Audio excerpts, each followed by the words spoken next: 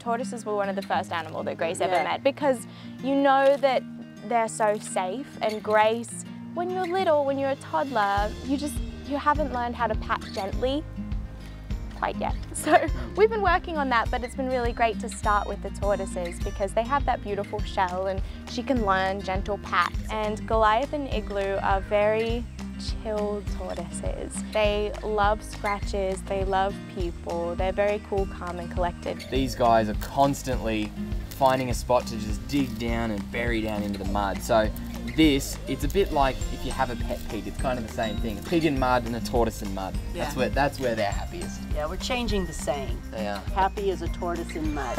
or happy as Grace in a tortoise pool.